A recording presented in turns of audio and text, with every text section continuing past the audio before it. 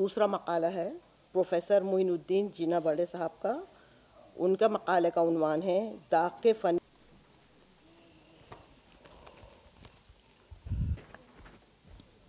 اراکین مجلس صدارت، فصاحت بیان، خاصا پامال قسم کا موضوع ہے ہلو ہلو۔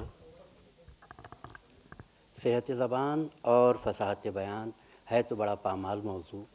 لیکن اس کا ٹریٹمنٹ کچھ الگ ڈھنگ کا ہے۔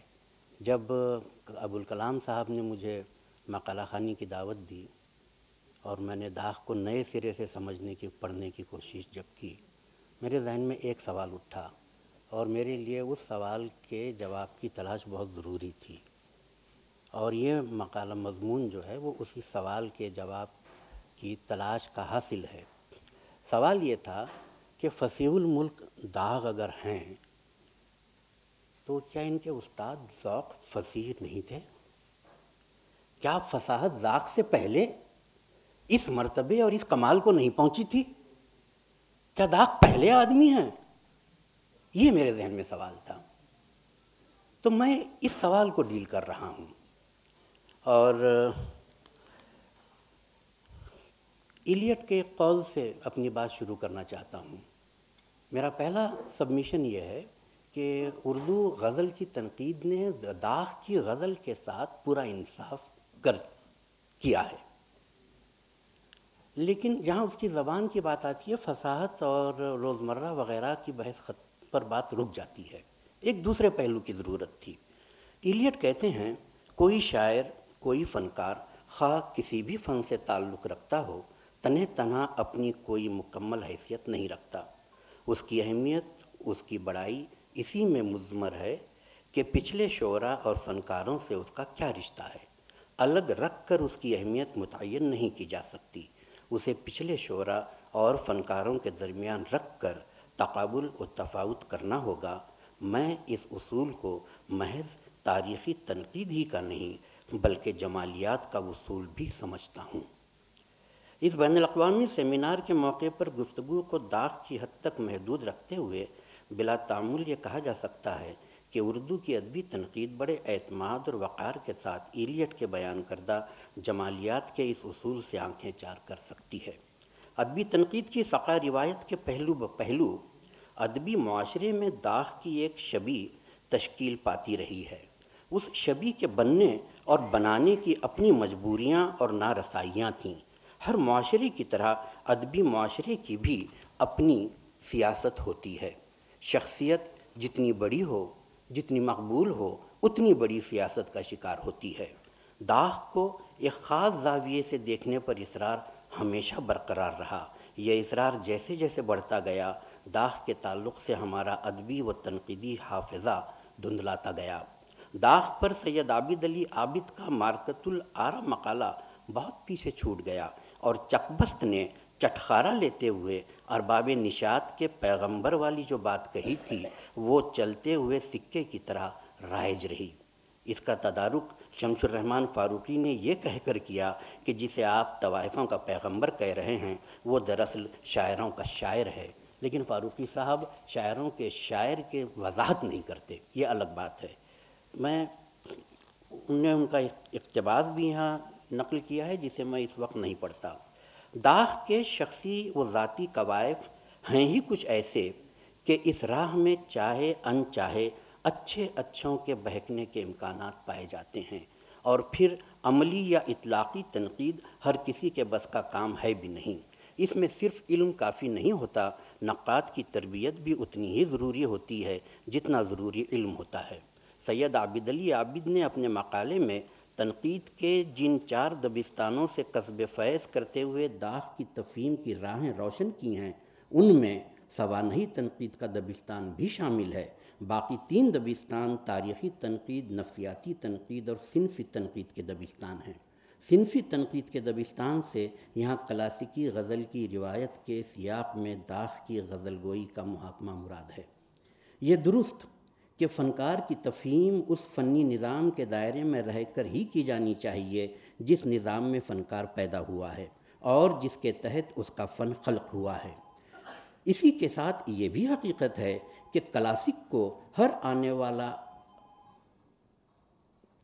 عہد، اسی کے ساتھ یہ حقیقت بھی ہے کہ کلاسک کو آنے والا ہر عہد اپنے طور پر نئے سرے سے دریافت کرنے کے عمل سے گزرتا ہے۔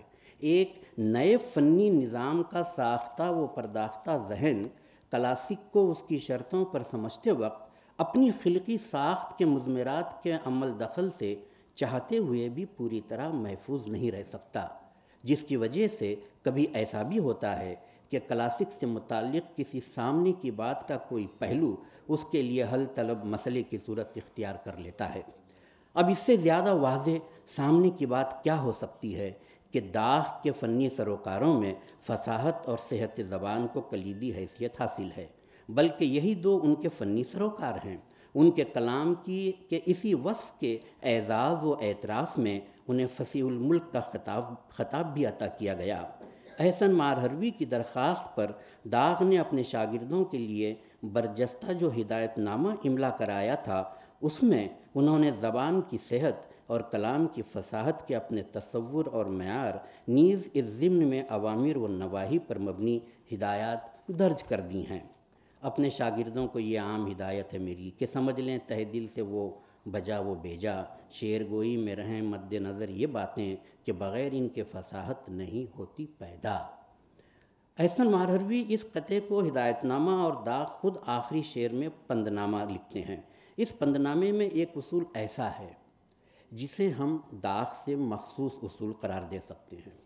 وہ اصول ہے ہے اضافت بھی ضروری مگر ایسی تو نہ ہو۔ ہے اضافت بھی ضروری مگر ایسی تو نہ ہو، ایک مصرے میں جو ہو چار جگہ بلکہ سوا۔ شاید اسی لیے ایسن مارہروی نے داغ کے تمام مجموعوں میں سے ایسے اشعار کا انتخاب بھی شائع کیا جن میں اضافت سرے سے استعمال نہیں ہوئی ہے۔ سوال یہ ہے کہ کیا صرف اس ایک اصول کی وجہ سے داغ فصاحت میں اپنے استاد ذوق سمیت تمام اساتذہ پر کچھ ایسی سبقت پا گئے کہ ان سے پہلے کسی کی فصاحت کا اعتراف اس طرح نہیں کیا گیا؟ ویسے داغ نے جو ہدایات قلم بند کی ہیں وہ کچھ اس طرح ہیں، میں انہیں اسکپ کرتا ہوں۔ انیس ہدایتیں ہیں۔ اس ان سے بحث اس وقت ہم نہیں کرتے۔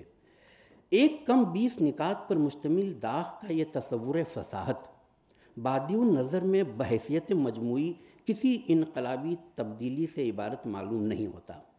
ہاں مگر وہ اضافت کا اصول کہ مصرے میں پے بپے اضافتیں آتی چلی جا رہی ہیں اور اردو کا مصرع اردو کا نہ رہ کر فارسی کا معلوم ہونے لگے، داغ کے لیے ناقابل قبول ہے۔ یہاں غالب کی پسند آیا ردیف کی غزل یاد آتی ہے، جس میں حرف فعل آیا کی حد تک اردو کا تکلف پایا جاتا ہے۔ داغ، یہاں اردو اور صرف اردو کے حق میں تخلیق تخلیقی موقف اختیار کرتے ہوئے نظر آتے ہیں۔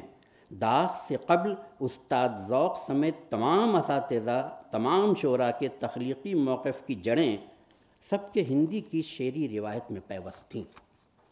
داغ کے یہاں اردو غزل پہلی مرتبہ اپنے کندھے سے سب کے ہندی کا جوا اتار پھینکتی ہے۔ داغ کے اس انقلابی اقدام نے جدید غزل کے لیے راہیں ہموار کیں۔ اب اردو غزل اتنی کم معیار نہ رہی کہ فارسی غزل سے اس کے معیار کی پیمائش کی جائے۔ داغ کی غزل سراج الدین علی خان آرزو کی جاری کردہ تحریک کے ریختہ گوئی کے خاتمے کا اعلان ہے۔ غالب اس پر نازا رہے کہ ان کا ریختہ رشک فارسی ہے۔ سب کے ہندی کے تتبوں میں اردو میں کہے جانے والی غزل ریختہ کہلاتی تھی۔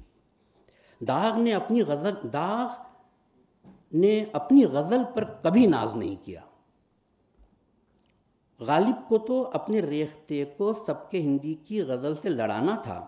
داغ کے یہاں اس اردو پن کی تکمیل ہوتی ہے، جس کا آغاز نصیر کی شاگردی میں بقول فراق ذوق کے یہاں ہوا تھا۔ سید عابد علی عابد ذوق کے اردو پن کی وضاحت ان الفاظ میں کرتے ہیں۔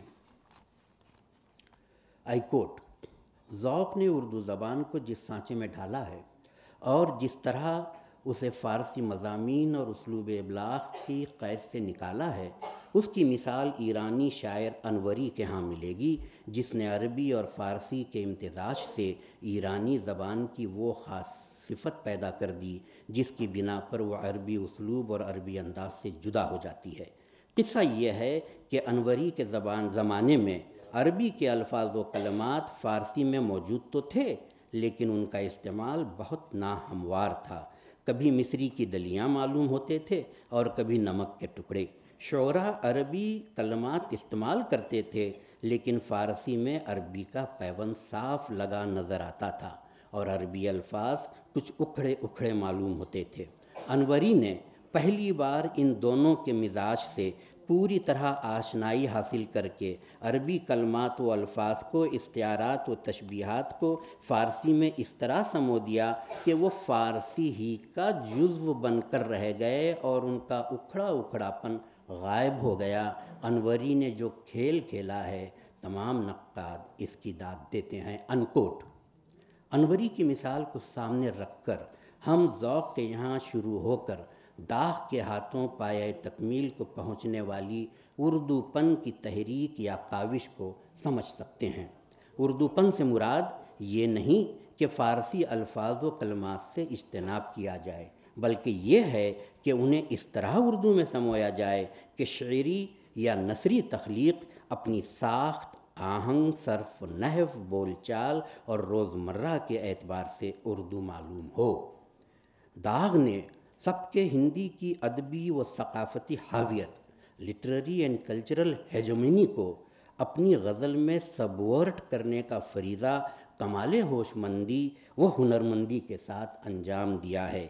اس کے لیے انہوں نے بر صغیر میں پھیلے ہوئے شاگردوں کے حلقوں کو فوج کے دستوں کے طور پر استعمال کیا۔ ماقبل داغ کے اساتذہ بھی فصاحت پر جان دیتے تھے۔ اور اس کے لیے کاوشیں بھی کرتے رہتے تھے۔ ان کی فصاحت سب کے ہندی ابلک فارسی زبان اور اس کی ادبی روایت کی ممنون احسان ہوا کرتی تھی۔ داغ کا روزمرہ اور داغ کی فصاحت فارسی کی ممنون احسان نہیں۔ اردو یہ روزمرہ اور یہ فصاحت اردو اور صرف اردو کا روزمرہ اور اردو کی فصاحت ہے۔ داغ کو اس کا پورا احساس تھا کہ وہ کون سا تاریخی فریضہ ادا کر رہے ہیں۔ یہی وجہ ہے کہ انہوں نے جب بھی ناز کیا، اپنی زبان پر ناز کیا، غزل پر کبھی ناز نہیں کیا۔ داغ کی پورے بر صغیر میں بے پناہ مقبولیت، بر صغیر میں اردو کے لنگوا فرانکا ہونے کا منہ بولتا ثبوت ہے۔ صاحب غیاس اللغات سے فارسی سیکھنے کے بعد، قلعہ مولا میں ذوق کی شاگردی سے فیضیاب ہونے والے داغ سے بہتر ان دو زبانوں کے مزاج سے بھلا کون واقف ہو سکتا تھا؟ داغ غزل کے بڑے شاعر نہ سہی صنف غزل کو نئی زندگی داغ ہی کی غزل سے ملی ہے۔ غزل سب کے ہندی کی پیروی سے آزاد نہ ہوتی تو اپنا تاریخی کردار ادا کر کے منظرنامے سے رخصت ہو چکی ہوتی۔ داغ کی شوخ اور کھلندری غزل نے بال جبریل کی غزلوں کے لیے راہ ہموار کی ہے۔ عظمت کا تصور اور عظمت کے معیار بدلتے رہتے ہیں۔ داغ کی فصاحت اور ہندوستان میں دھوم ہماری زبان کی ہے، جیسے اشعار کو اس بدلتے تناظر میں دیکھنے کی ضرورت ہے۔ پند نامے میں داغ کہتے ہیں، عیب و خوبی کو عیب و خوبی کا سمجھنا ہے ایک امر نازک۔ پہلے کچھ اور تھا، اب رنگ زباں اور ہوا۔ عیب و خوبی کا سمجھنا ہے ایک امر نازک۔ پہلے کچھ اور تھا، اب رنگ زباں اور ہوا۔ یہی اردو ہے جو پہلے سے چلی آتی ہے۔ اہل دہلی نے اسے اور سے اب اور کیا۔ یہ نیا رنگ کیا ہے؟ اہل دہلی نے اس سے اور سے اب اور کیا کیا؟ اس کا جواب اس شعر میں دیتے ہیں۔ کہتے ہیں، اسے زبان اردو جس میں نہ ہو رنگ فارسی کا۔ ہاں یہ ضرور ہے کہ داغ کی اردو دلی کے اہل زبان کی اردو ہے۔ پند نامے کے ان شعروں پر اپنی گفتگو ختم کرنا چاہوں گا۔ مستند اہل زبان خاص ہیں دلی والے، اس میں غیروں کا تصرف نہیں مانا جاتا۔ جوہری نقد سخن کے ہیں پرکھنے والے، ہے وہ ٹکسال سے باہر جو کسوٹی نہ چڑھا۔ داغ کے فنی سروکار اصلاً داغ کے لسانی سروکار ہیں۔ شکریہ۔